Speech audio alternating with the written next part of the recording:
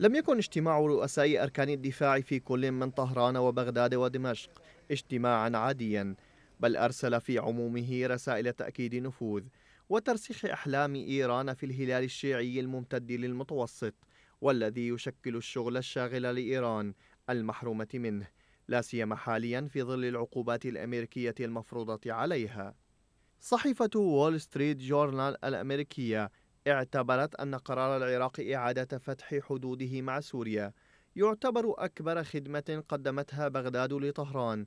تمهيدا لفتح طريق آخر أمام البضائع الإيرانية للوصول إلى دمشق بعد أن أغرقت أسواق العراق بها. فضلا عن ارتهانه للمحروقات من النفط والغاز لإنتاج الطاقة الكهربائية والتي أصبحت ورقة رابحة بيد طهران للضغط على حكومة المنطقة الخضراء.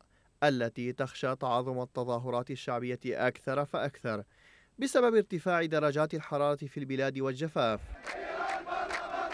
إذا الطريق بات مفتوحا ومشرعا أمام طهران وحتى ميليشياتها في المنطقة كما تقول وول ستريت جورنال وهي الحقيقة التي لم يتوانى قائد الحرس الثوري الإيراني اللواء محمد علي جعفري عن إخفائها حيث أكد تدريبهم نحو 200 ألف مقاتل في العراق وسوريا.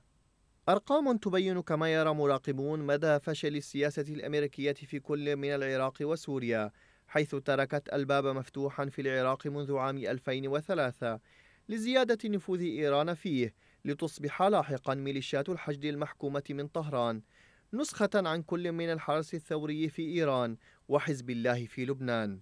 وفي سوريا لم يكن السيناريو أقل فداحة من سالفه حيث تركت واشنطن الساحة لإيران وروسيا للعب وتقاسم نفوذهما في البلاد. في حين اهتمت أمريكا كما في العراق بمناطق الأكراد ودعمتهم لتشكيل قوة عسكرية بدأت تلوح بها لإغاثة أنقرة.